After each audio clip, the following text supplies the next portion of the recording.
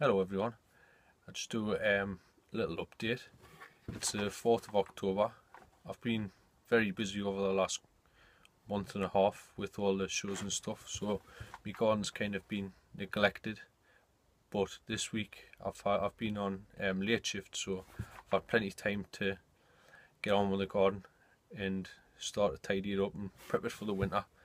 Um, I tend not to plant a lot of over over winter veg. Well, I haven't done in the past, but I've got a few little bits and bobs in the polytunnel which I'm gonna just transfer it outside once I take the cover off the polytunnel.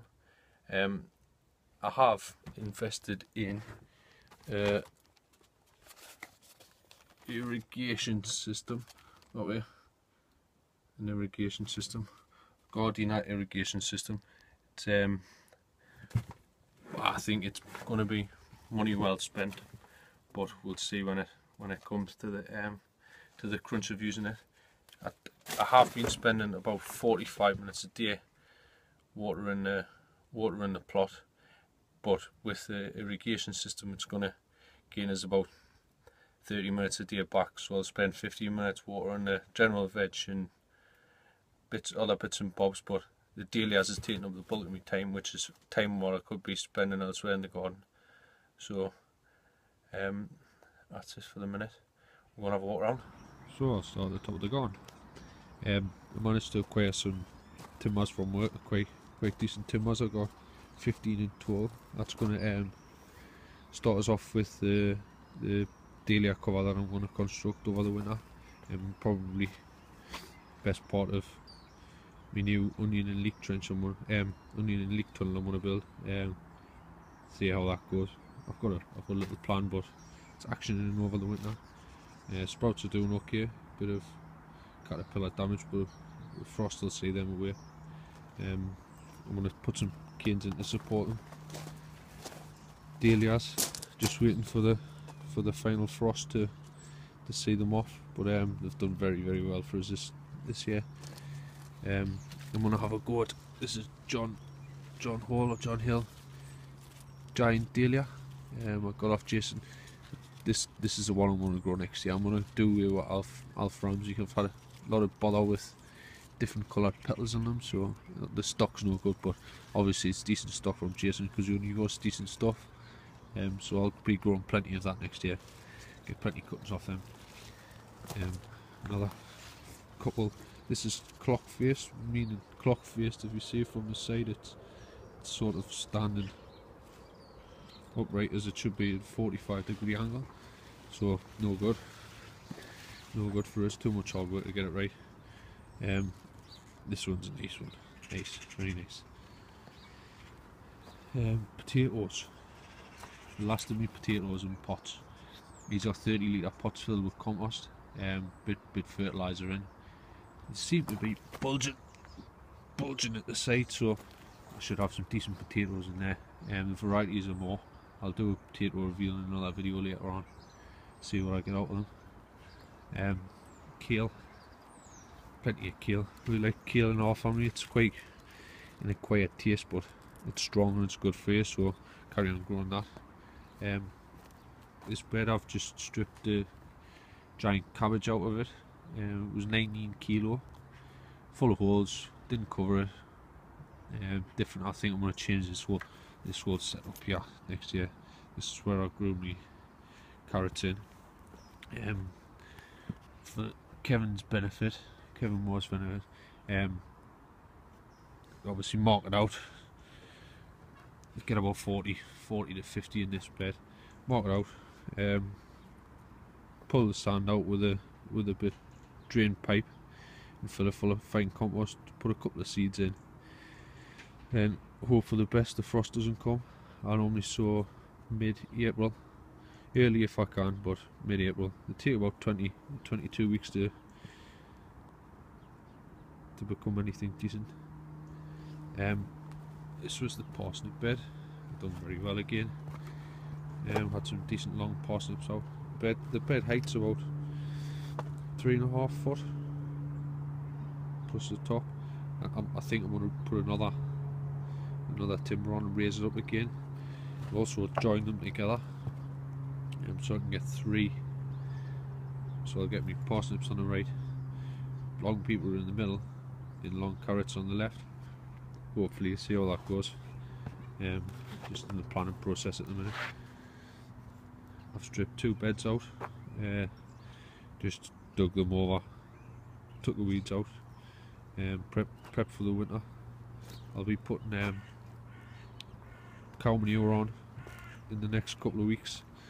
November, once everything's died back, I'll, I'll start and put manure on over the winter.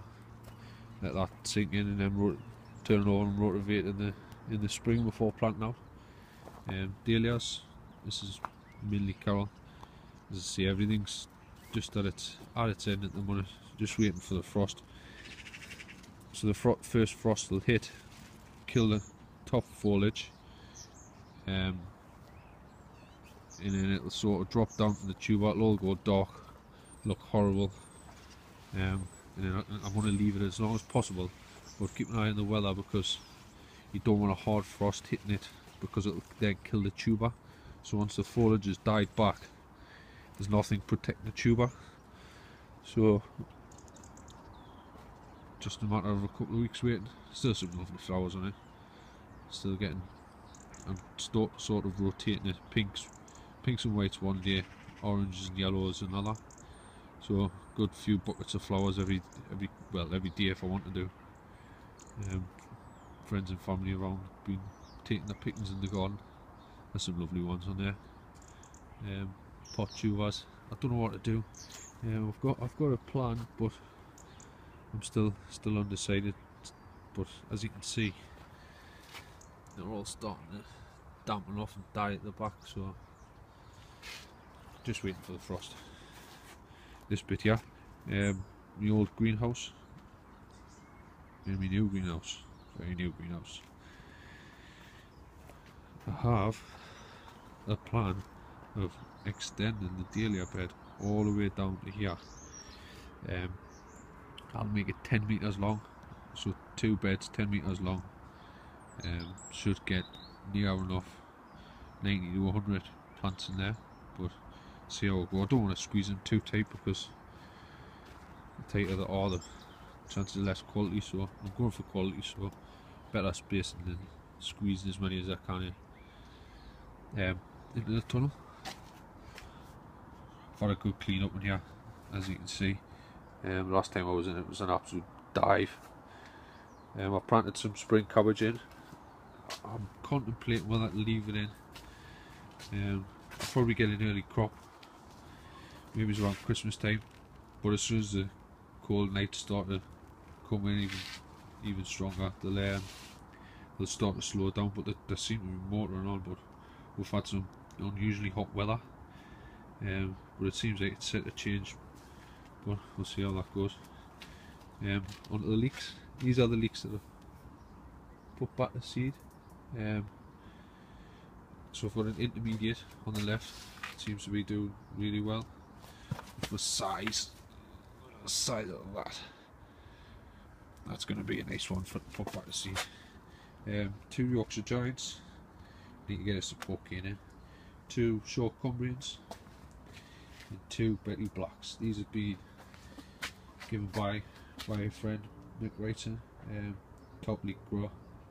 Um, he was second in the Blyth Open Show, not this year, but last year, with uh, two, two, well, three Crackling leeks. Yeah, it was three Crackling leeks. So hoping to get some decent one, decent grass off that. Um, plan for the tunnel is to extend this bed all the way down to the bottom, so it gives us the full two, two lengths to to grow leeks in. Um, I'm going to move this this sand bed outside um, and increase the outside growing space because I didn't really have very good quality carrots growing them into the tunnel. I don't know why, but they just they just didn't perform as good as the ones outside. Um, this soil in the in the three containers here is just going to be tipped into the into the new trench.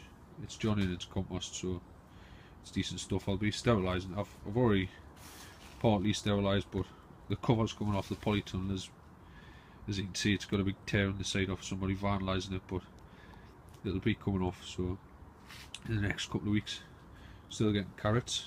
some nice little carrots in, in a recycling tub. These are the oh, Christmas potatoes. Um, they'll be moved into the greenhouse um, when the frost starts to come, maybe a couple of weeks time. I'll just keep an eye on the weather. When the weather turns, I'll be putting them inside. And this shed is coming down. It's going over my dad's. Um, the chicken run's coming down.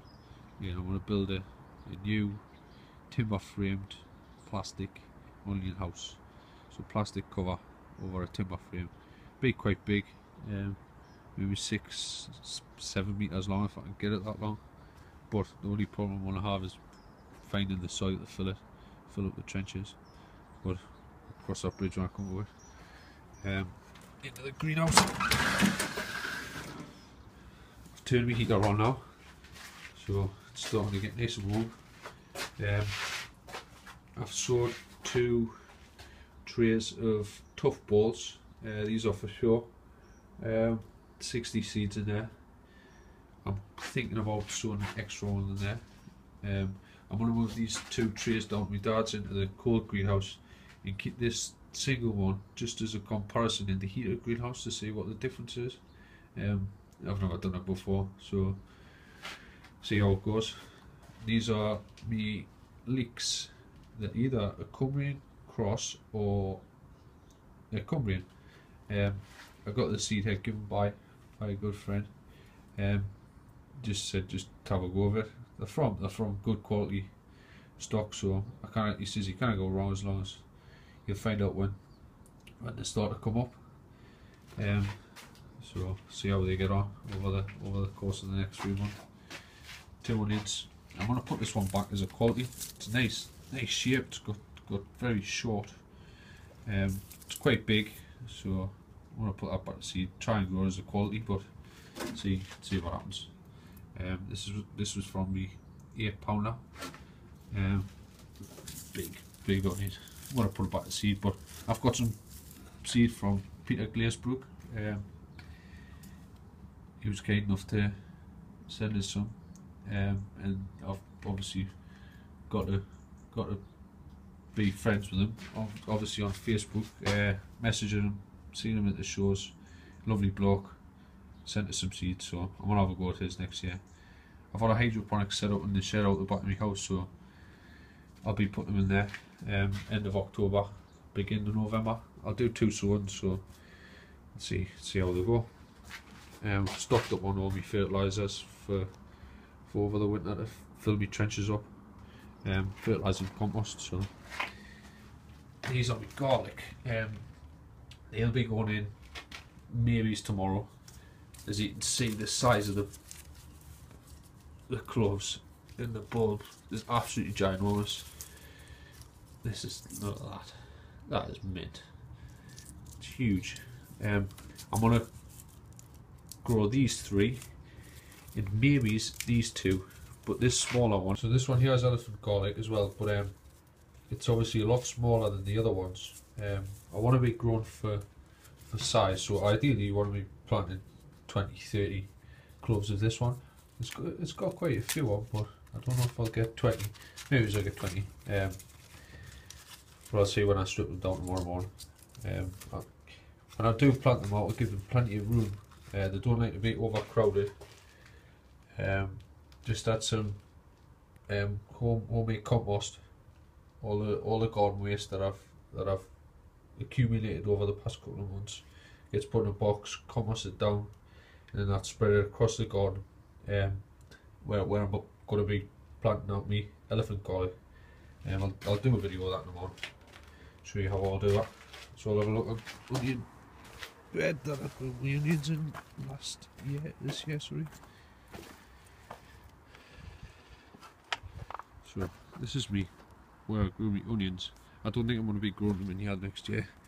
Um, so I've took the, the mylar plastic off, um, give it a good soaking, let's get rid of some of the fertiliser.